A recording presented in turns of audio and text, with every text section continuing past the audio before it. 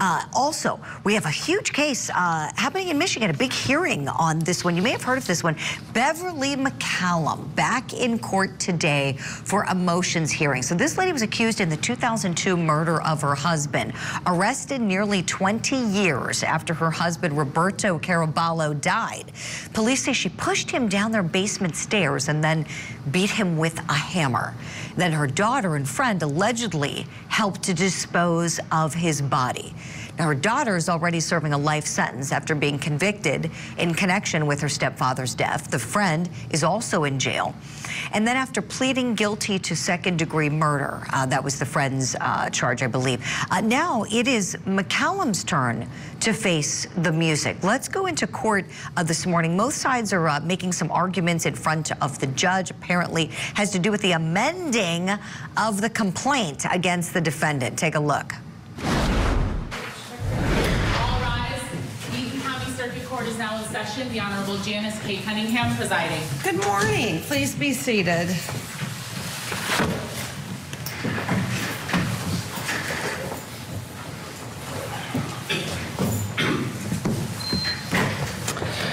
Okay. All right, we are on the record in the people of the state of Michigan. Where is she? Okay, we'll just take a second and wait for her to come in.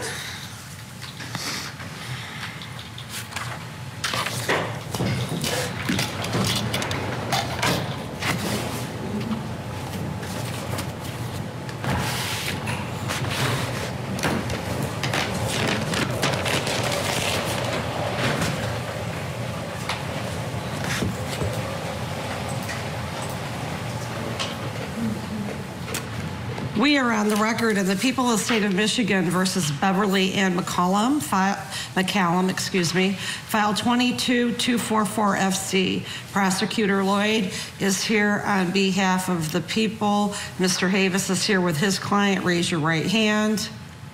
Ma'am, would you raise your right hand, please? Yes. Do you swear to tell the truth, the whole truth, and nothing but the truth, so help you God under penalty of perjury? Yes? The record should reflect that the defendant has said yes.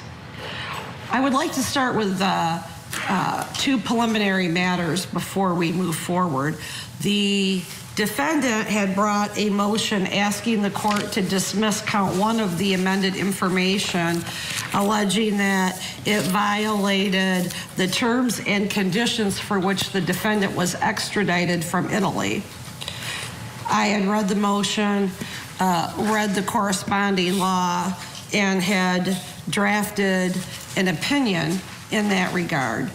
I then received the response from the prosecutor's office um, on, I think it was late Thursday, of which the prosecutor uh, has altered its position and was saying that um, they would amend the information to add second degree if the jury was instructed, if the court allowed first degree murder to remain on the jury form and that the jury would then be instructed not to return a verdict on first degree and if a special jury instruction was given regarding extradition and the effect it had on the case.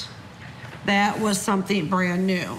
So my first question is, would the defense like an adjournment to be able to submit a reply brief and any corresponding law that you think would impact that?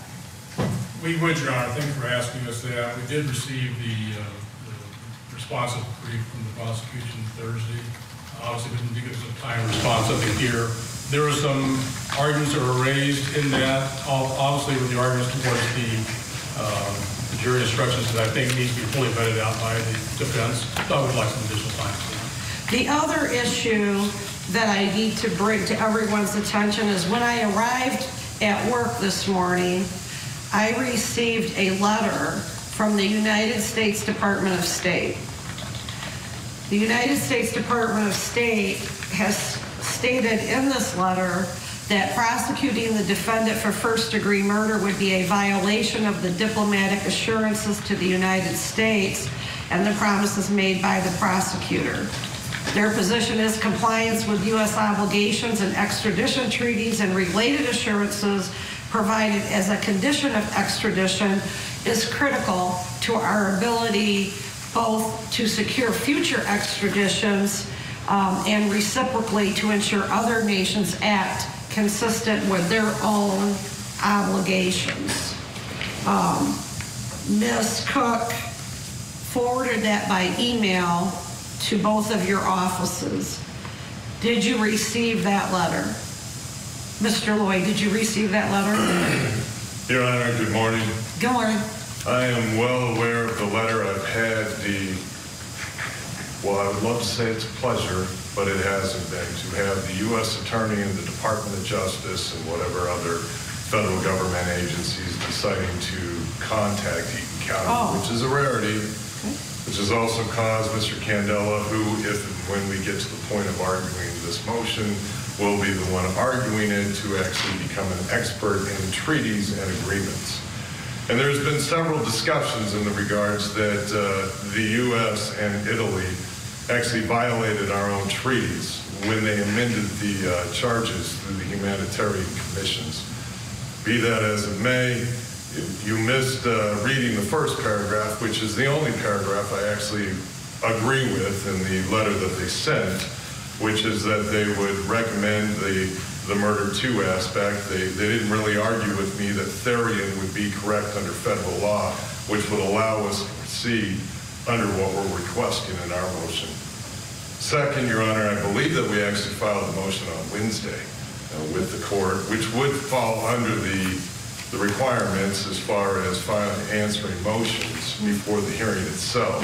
So, you know, that's, I- I'm finding it odd that we're asking the defense for extra time when my office gets hit on a regular basis with motions or answers being filed at the last possible minute. So, but if that's what's required, we'll do that. But yes, I, I am aware of the letter. I don't agree with the letter. I've advised them of that. I agree, with the first paragraph. But, you know, I- we have come up with a resolution in this matter, and it's wait, not a don't say that. surprise. It's not a surprise. You haven't come up, a resolution requires both parties. You have made another offer as to what you would do to comply with your promise to charge her only with second-degree murder. Well, Your Honor, just so we're clear, those two weeks that I asked for that bring us to here today, I had the opportunity to meet with Mr. Hayes. This is not a surprise because I presented a form, if not that jury instruction itself, as well as what our desires were to do during that two-week period. So this is not a surprise thing that I all of a sudden just show up on Wednesday with an answer. I answered it because I was told at that point that he would not agree to it. So at that point, we had to answer the, uh, the uh, motion itself and present to the court the Sure. resolution. But this is not a surprise to the defense as to what we were suggesting to do here. Well, it is a different uh, position than what the court was aware of. I wasn't privy to your two weeks of good faith negotiation. I was not aware that you had had any contact with the United States Department of State. Literally, when I arrived at 8 o'clock this morning, Ms. Cook said, yeah, there's a letter on your desk. So that, I've only read it twice. All right, so I haven't digested it with all the particulars. I read it and went, okay, I want to make sure that both of you, both sides had it. And she assured me that she had emailed it. Um, this case, what has happened in this case, in the court's opinion, is a case of first impression in the state of Michigan. I think that's obvious by the fact that in support of the arguments made on your behalf, the case that is cited um, is a case that goes back to, well, Pinkerton's 1945, and Theron is not that much newer. Um, and in doing uh, preliminary research on Friday, um, at least we were not able to find more updated rulings. And of course, this court's not bound by the uh, Theron case. But I under, I re, I've read it several times, and I think I understand it. I'm not so sure I agree with your interpretation of it. However, when you're dealing with a case of first impression, and you're dealing with issues about whether someone has or has not uh, followed the agreement made on behalf of the United States with the country of Italy, I need to be as well informed as I can. And whether or not you did file timely, which I do believe you did, um, the court always has the ability and should request a reply to something new that was raised. What you raised in your response is the very first time I had heard that argument, and I want to be well informed, which means the defense should have an opportunity to respond to it before I make a decision. I also think, from what I've read in your response, that you're conflating two issues. The first issue that I was prepared to rule on, the first issue is what can the defendant be charged with and tried here in Eaton County? I don't think anyone can argue that the agreement was made that the prosecutor of Eaton County would only try her on second degree murder and would also not try. The judge trying to get to the bottom of this. So when she's extradited, she thinks it's second degree. The state amends it's first degree. They want to pursue first degree. Defense counsel saying no, drop it down to second degree. The judge weighing what she should do. We're going to hit a break. We'll go back to court in Michigan after this. There's a tragic outcome in this case. Civil trial that is the focus of the Netflix documentary Take Care of Maya. How a misdiagnosis tore their family apart. They continue to accuse Jack and Beata of being child abusers. Jack called me and said Beata just hung herself. Is the hospital they're suing responsible for what happened? The Take Care of Maya trial. Trial coverage today on Court TV.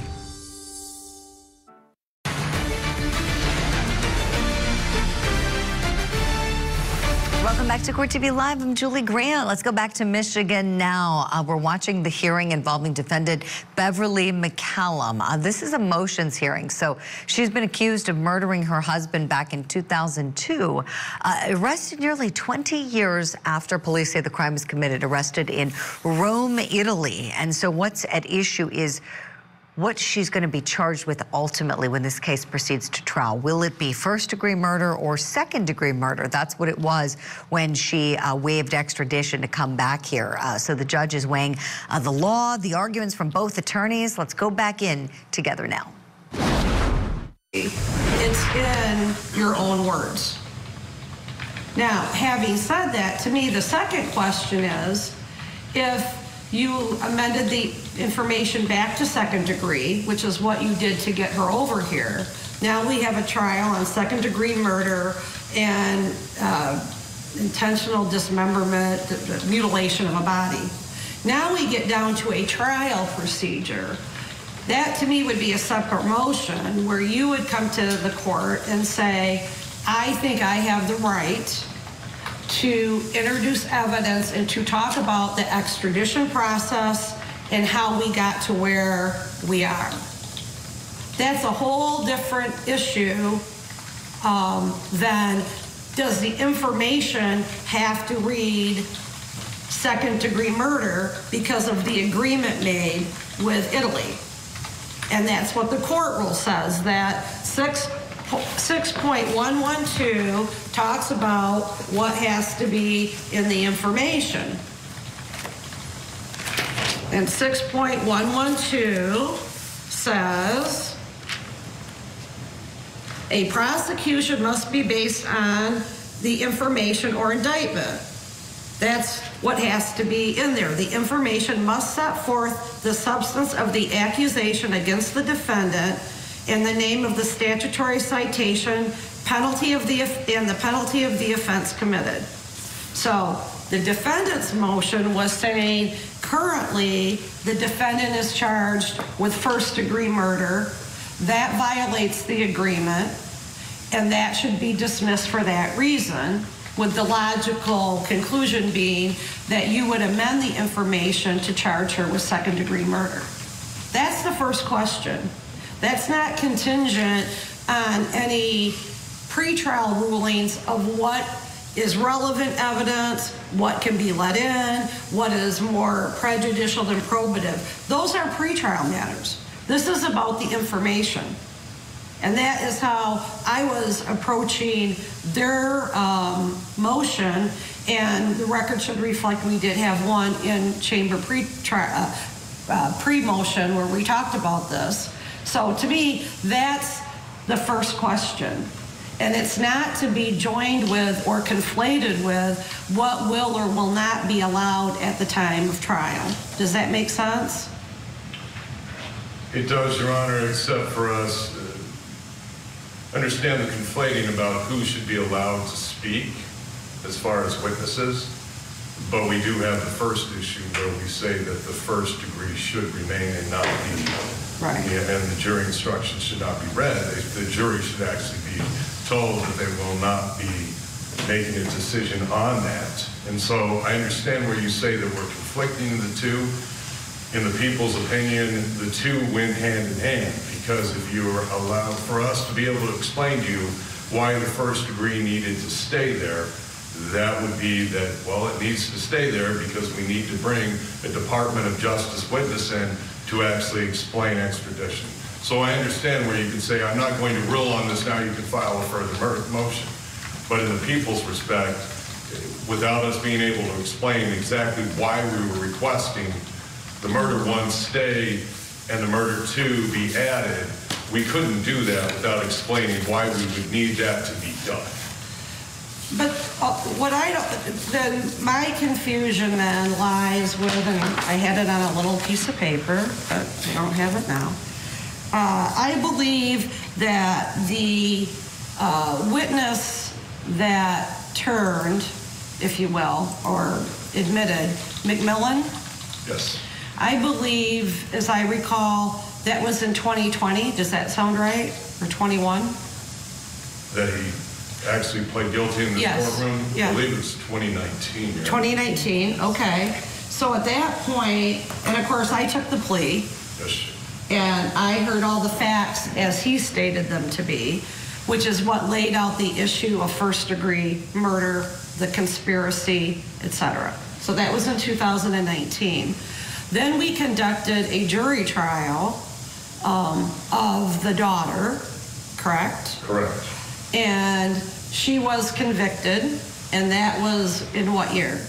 Believe it was 2021, Your Honor. 2021. December of 2021. And of course, I was here for that trial and heard all the facts and saw all the evidence.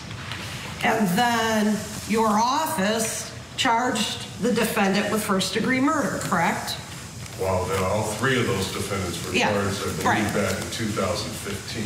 Well, this, inf- this information that's the basis of this file is dated December 4th of 2022, signed by Ryan Tetloff, charging uh, the defendant with murder, first degree homicide, disinterment, and mutilation of dead bodies. So at the time this information was filed, all the facts were known. We'd had a full confession and we had run a murder trial. Then the defendant was located in Italy, correct? And you're, you don't deny that your office agreed in black and white language, very clear, that you would not try her on first degree, that you would only try her on second degree, and that you would not try her for conspiracy, correct? No, I don't disagree with that. Okay. So then, as a result of that promise, she was extradited, and at that point, you issued, as promised, a amended information charging her with second degree murder, correct? Correct. Okay. So now this is where it's supposed to be. Nothing has changed. There was never a representation, we're going to keep her charged with first degree, but we'll only prosecute her on second degree.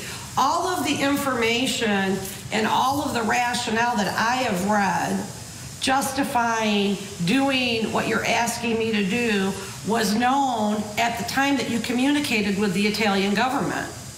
If you didn't think you could prosecute her for second degree murder, then why would you have agreed to do that as a basis to extradite her? Is that a question you'd like to Yeah, answer? I, I, I, that's what I don't understand. Well, Your Honor, it's, it's amazingly enough, right, I'm not, or was not an expert in treaties and agreement back at that time. I didn't understand that the federal government had actually violated its own treaty when they decided with Italy to actually request or demand that we actually agree to an authorization of some, something else other than the charge.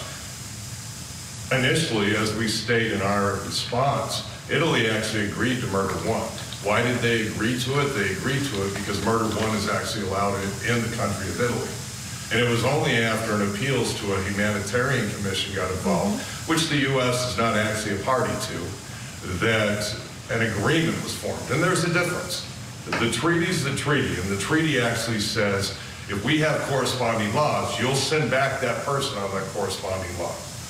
They created a an agreement. An agreement is not the treaty, but they use the force of the enforcement language of the treaty in the agreement itself. And at that time, Your Honor, back in 2020 or 2021, when all of this was taking place, it was the only way that I felt that I might be able to have a chance to obtain justice for the victims by them actually being able to see the defendant and hear the defendant and hear the case. And so I was kind of put up against a wall as far as what were my options. So at that time, as we were being told by the Department of Justice, by the federal government, that the only way that this citizen who we believe murdered Robert Caraballo and would actually see anything happen was to agree to that. The only way the victims would see the opportunity to All right, we're going to hit the pause button before we head to a break. Just a reminder for you, the Court TV is always on 24-7 on our YouTube channel. If you've missed an amazing courtroom moment or you want to watch an episode of our compelling original programming, you can do that there. There's also much more for you. That's at Court TV YouTube. We'll be right back. There's a tragic outcome in this case. Civil trial that is the focus of the Netflix documentary Take Care of Maya. How a misdiagnosis tore their family apart. They continue to accuse Jack and Beata of being child abusers. Jack called me and said Beata just hung herself. Is the hospital they're suing responsible for what happened? The Take Care of Maya trial. Trial coverage today on Court TV.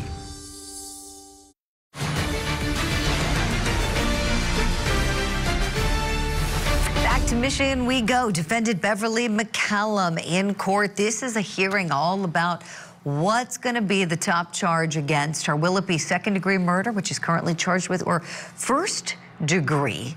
Uh, apparently, uh, the state, or actually, I believe the state did uh, file a petition to amend, but it, it's up for discussion in front of the court because she was told by the state when she was in Italy and agreed to waive extradition that it would be second degree murder that she would be prosecuted for. But for some reason, the state changed its mind. The defense is pushing back hard to uh, say, hey, this is what you said, this was your promise. Why not tell us at the outset it's first degree? Let's go back in now. justice is if she came back. So why did I agree to it? Because I was left with no other choice at that particular moment. Because even though I didn't know it at the time, the federal government had basically violated that treaty on their own and then came back to us with the agreement and said, if you want her, this is the only way you'll get her. So it's lovely that they sit out there with their little letters that they send to you at 5 o'clock, which I personally felt and told them that it wasn't any of their business to try to intervene, which is mm-hmm. what they've done. But so be it. They've done it. But at the same point, you asked me why I did it. It was in order to try to seek justice and have something there for the victims. Right. And the reality is, I mean, I think two things are important to know is the defendant has been incarcerated at least for all of this time. She was incarcerated in Italy under a conditional uh, hold, and she's been incarcerated here. And having heard the confession of Mr. McMillan and having overseen the other, her daughter's trial, um, and the evidence that the jury believed, the horrific evidence, the horrific evidence that the jury believed. Um, I understand uh, your responsibility and desire to get her back here and to make her face the jury and face the charges against her. Where right now I am not convinced is if after the fact there is a belief, well, maybe I have a technicality to get out of it. And by the way, this letter from the United States Department of State is not an influence on my decision. I'd already drafted an opinion prior to receiving that. Um, it comes down to a question of keeping our word. It comes down to a question right now in today's society, people are very skeptical. They don't trust government and they're skeptical of the law, prosecutors, the judiciary. Um, and in my opinion, it is the lawyers and the judges that have done a good job so far keeping the country on the right track. Um, you gave your word, this is what you were going to do. And now you want to use a technicality to not follow that. I still think you're conflating the two issues. I think the information, what you're charging her with, what you agreed to do, is second degree murder. The other issues about what you can talk about at trial and what witnesses you can bring in is a different issue. Again, uh, we could find no case law in Michigan dealing with this, and as as as you are raising the issue uh, for the first time, well, now we believe we don't have to follow the treaty because Italy didn't follow it. This is a case of first impression. It's a pretty big issue. I don't think anybody in this courtroom has ever dealt with it before. It's not like the typical criminal docket where most of the issues, most of us have dealt with them and are very familiar with the law. So, yes, I want to make a decision. I want to do it right. And I want it based on the law. And if that means we have to adjourn this out a couple weeks so that I can get a reply brief from the defense, that is the right thing to do and it's the prudent thing to do. So, Ms. Cook, I need a date for approximately two weeks out, and I want a reply brief. So, and there won't be a response to the reply brief because we're going to follow. They filed a motion, you filed a response, now they get to file a reply, and then we'll come back for oral argument. And Mr. Uh, Kendall, I'm sorry I didn't acknowledge you. Mr. Candela is also at council table, or Mr. Candela is apparently going to make the argument, and I assume Mr. Havis, and um, it'll be my responsibility to make a decision. I would say based on this morning, I would like to have an hour set aside. I don't know that we'll need it, but let's make sure we have an hour. November 15th at 11. November 15th at 11. Does that work for your calendar, Mr. Lloyd?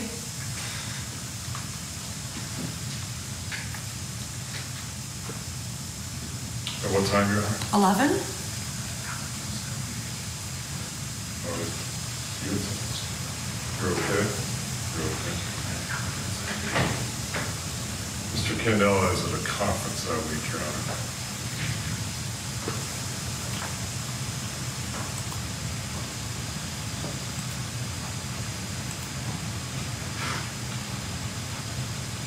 The whole week. The whole week, Mr. Candela? Monday through Friday? Conference ends on Wednesday, so I wouldn't be available on 15th. I don't know what day of the week the 15th is. Oh, Wednesday. Oh, okay, okay.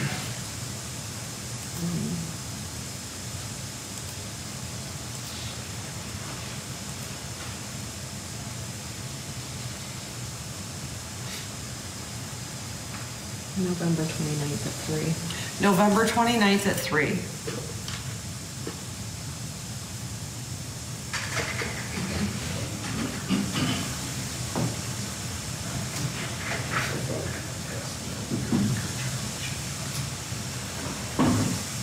November 29th would work, John.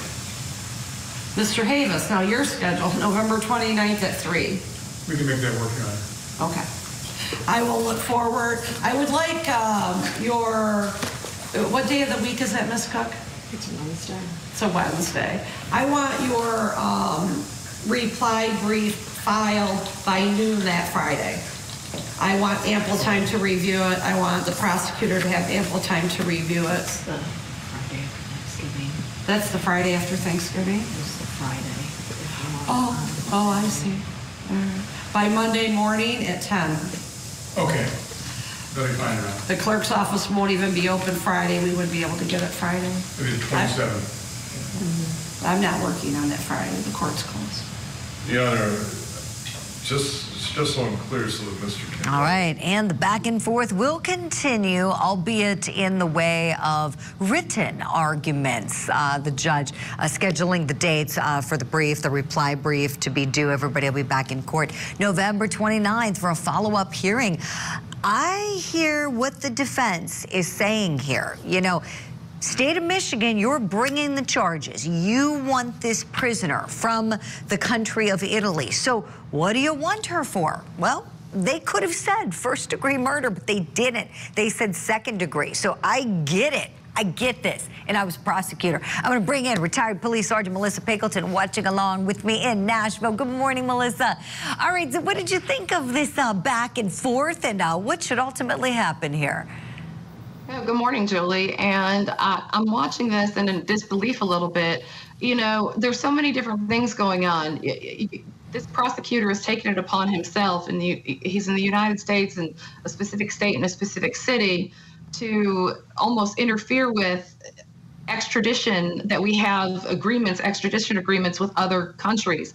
We need to have those extra extradition agreements with the other countries for reasons of this bringing very serious criminals back to our state, our country, to answer for crimes. So when he said we're bringing her back for second degree murder, for him to go and switch that on the back end, and he basically admitted it, that he basically admitted that, yeah, I just went ahead and did this because that we made the agreement to get her over here. And the judge made a really good point. I love this judge. She made such a good mm-hmm. point in that when this country has such a problem trusting our government, and we do, we don't trust our government anymore. I'll be honest, I don't trust my government anymore right now. It's especially the top level mm-hmm. tier that's going on with so many different things. Mm-hmm. But we need to keep our word, and especially when we're dealing with other countries. So I think it's very arrogant of him to assume he was going to slide in and do this. And normally I'm pro prosecution, but the defense has a really good point here, and I don't blame them. And it's also a little comment of, well, I get I get motions all the time that I have to answer, you know, right away. Sir, this is not the same type of motion. You are talking about another country. And then also for him to assume that the judge didn't need to be included on on their past two weeks of discussions. And Maybe I'm wrong in that, Julie. I'm, I'm not an attorney, but I think that, that the judge should have been included from day one. Right, and you've been through extradition and, and the process of it in hearings, and I'm sure head-to-head prisoners, you know, you've arrested, maybe they bond out, maybe they flee, and then got to bring them on back. And um, so part of the, the process in extradition, you know the sergeant, is if you're the requesting jurisdiction, you've got to show the reason why you're requesting, you know. And um, we talked about a lot last week with Shanna Gardner Fernandez going back to Florida um, eh, from Washington State. And initially she was going to fight it and then like kind of threw her hands up because, you know, it's not the time to try the case. It's just, are you who, you know, we think you are and did you do something bad and is there probable cause uh, to show that you allegedly did the bad thing? Uh, here, what I think is disgraceful is that this case is so old. They had all these years to get it right. What do you want this prisoner for? You know, if she did murder her husband, bring her in on the top count. Don't, I, I, it just makes no sense. I, I think this is not the hill they should try to die on here with fighting to get, you know, let it go. Sing the Frozen song. Uh, Sergeant Pinkleton, thank you so much for weighing in. Uh, we're going to hit a break. Don't go anywhere. We'll be right back after this. Well, the first thing I knew, popcorn went flying. And then I thought, oh my God, he shot him. An argument over a cell phone and a bag of popcorn turned deadly at a movie theater. Scott Rosenwasser told this jury this was murder. It wasn't just one attack, and it wasn't just popcorn being thrown. I'm looking up at this guy, and he looked like a monster standing there. Victim to Verdict with Ted Rowlands. All new Sunday night, 8, 7 Central, only on Court TV.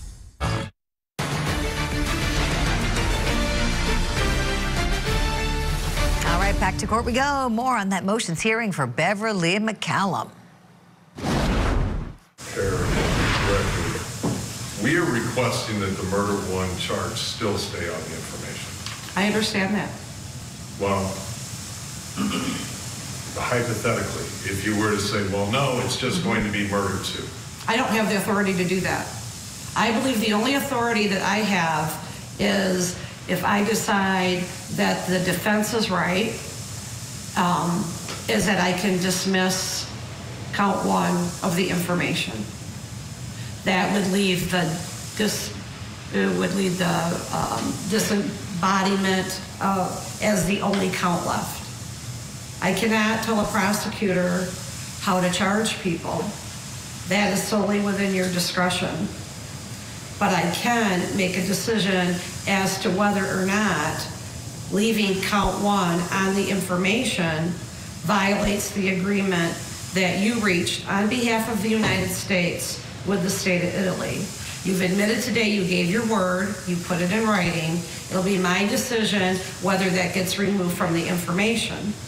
Then at that point, we're going to have a really interesting discussion about venue because that was already raised once. Um, that would only leave count two. But we haven't crossed that bridge yet.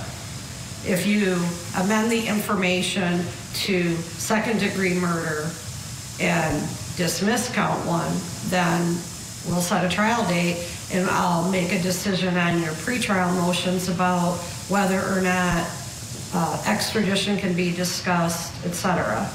Um, but this is about the information, um, what's required under 6.112. So I understand your position is you get to keep count one, and then if you can keep count one, you're willing to add a third count of second degree murder. Their request is count one has to come off the information. That's the decision I'm making. So we're clear, Your Honor, that's not what we're requesting. What we're requesting is the addition of murder two, Right. that murder one stay there, but not to be tried, only for explanation purposes. There's a difference because if you don't present the jury a jury form with count one on it, there's nothing for them to actually, and, and I must be clear on this, Your Honor, because that was something that the federal government kept asking me. And I told them that my resolution was is that murder one was there just like in Theron. It was there in a conspiracy for Theron, it was conspiracy nature. For here, it's for us the opportunity to present evidence. Theron, in my opinion, is extremely distinguishable from this case. Theron dealt with mail fraud and it dealt with conspiracy. Here, you're asking to leave on the information murder, one, which you agreed you would not do. If you agreed you would not do it, then should it be there? That's the issue before the court. And then it would be up to you to decide whether you wanted to amend the information back to second degree murder, which is what your office did to get her here. And then we would deal with pretrial motions as to whether or not it's appropriate to get into the extradition process, et cetera, which I think it may very well be, but that's not the issue today. And that's what I said. I believe that you're conflating two issues. As I read the information, that's what you're charging her with. The agreement wasn't, we'll charge her with first degree, but we'll ask a jury not to convict her. The agreement was is that you would not try her or charge her on first degree murder or conspiracy, but on second degree.